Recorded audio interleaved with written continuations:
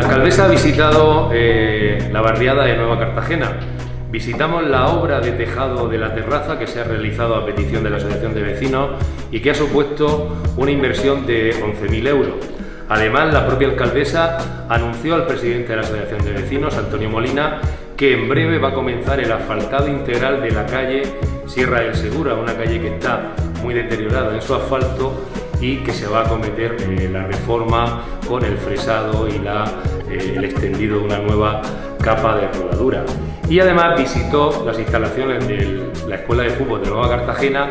donde se comprometió a que el ayuntamiento realice una estructura